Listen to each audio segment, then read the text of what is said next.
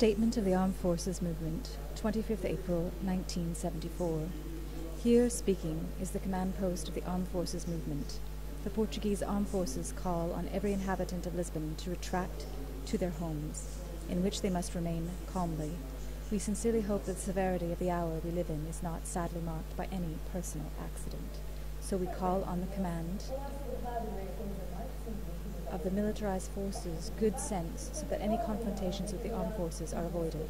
Such confrontation, thus unnecessary, can only lead to serious individual damages that would cause grief and create divisions between the Portuguese people, which must be avoided at all costs.